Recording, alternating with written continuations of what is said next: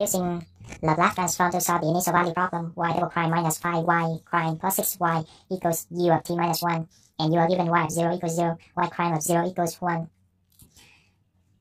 So we are going to use the derivative theorem.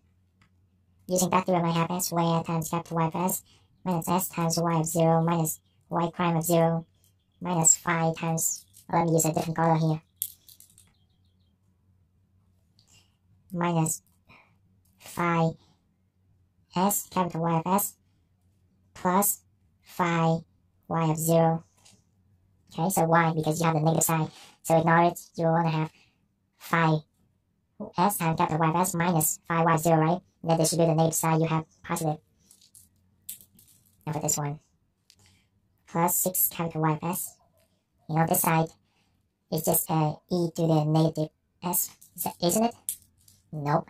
Be careful with, with just a u because it's actually 1 times u. And the Laplace transform of this is 1 over s. So a lot of people miss this. That causes a big issue. Big, big, big issue because it will make your problem messier as you go along. Because you get the wrong uh, you get the wrong thing at first. Now take a look at the capital Y versus in factor out capital y Y s. Then I have s squared minus 5s plus 6 in parentheses. On the right side, I have 1 over s plus e to the negative s. y of 0 equals 0, so this is gone. This is gone. y prime of 0 equals 1. So I have negative 1 move to the other side, which is positive 1. Okay. Now divide both sides by s squared minus 5s plus 6. So I have 1 over s. Uh, I'm going to factor this out as well. So I have s minus 3, s minus 2 and e to the negative s plus 1 over s minus 3 s minus 2. Okay. Okay. So this is just a factor form of this. Right? When you multiply this out, you have uh, s squared, s times negative 2, negative 3s, negative 5s, and negative 3 times negative 2, which is 6. Alright? Now, at this point, for this one, we are going to use a, a shortcut to find partial fraction. We don't need to find partial fractions for both both of these. But uh, I can use a shortcut for this one. But for this one, it looks like I'm going, I need to use a long method here. Okay, let me show you both methods. For this one, using the decomposition method, we need to have a over s plus b over s minus 3 plus c over s minus 2. And the LCD is everything on the left side, under numerator. So multiply by that LCD, I have a times s minus 3, s minus 2, plus bs times s minus 2, plus cs, s minus 3. Okay, so you, some of you might multiply this out and then solve for it. Well, I wouldn't do that. Uh, what I'm going to do is to take the limits. Because if I take the limits at, uh, because if I can eliminate this and this, either one of these, I can get the value of the other one right away. So let me show you what I mean by that. So let me take the limits as s approaches, as s approaches 3. So on the left side I have 1, on the right side s, approach, s approaches 3 is eliminates this and this. So I have only this, so 3, 3 minus 2 is 1, 3b. So very quickly I get the value for b, which is 1 third. Right? And we're going to do the same thing for the rest. Let s approach 0 on the left side, still have 1 on the right side, it eliminates this and this. So 0, 0, positive 6, 6a. Then a equals 1 6. Let s approach 2 on the left side, still 1 on the right side, it eliminates this and this. So we have this 2 minus 3, negative 1, negative 2c. Then c equals negative 1 half. Now go back to this one. This gives me uh, a over s, which is 1 6 over s. b over s minus 3, b is 1 third.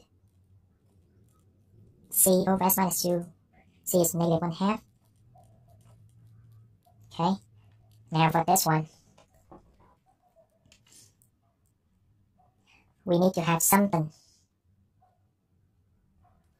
over s minus 3 plus something over s minus 2, right? And if you notice, they are off by 1, right? Negative 3, negative 2, they are off by 1, so we need to have 1 on top. And the next step is to determine which one has the negative sign.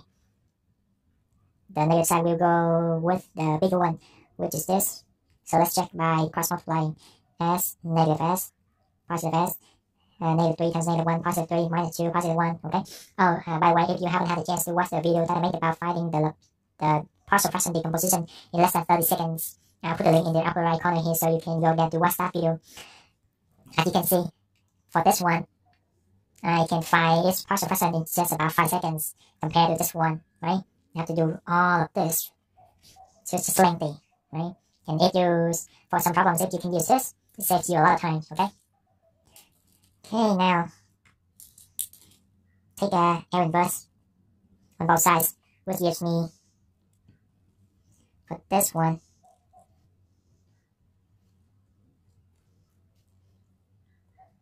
I'm gonna lock on this one first, because that gives me u of t minus 1.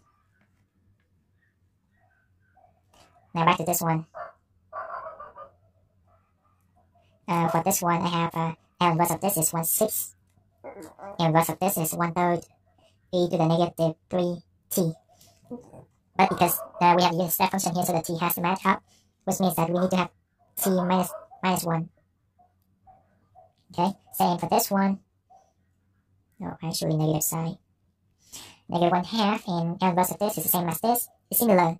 I mean, yeah, negative 2t, and again, t have to match up, so we need to have t minus 1, correct? Now for this one, and inverse of this is just e to the negative 3t, right? And of this is e to the negative 2t. Oh, sorry, sorry, sorry. Just realized, again, I made a mistake.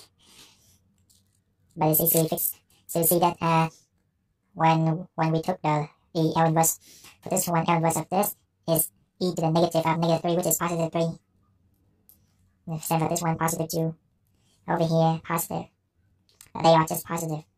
Okay? Right. Hope that makes sense. That's it. If you find the video is helpful, feel free to give it a like, share, and subscribe to my channel in order to receive the most current videos. Don't forget to hit the bell so that you won't miss anything. I'll see you next time.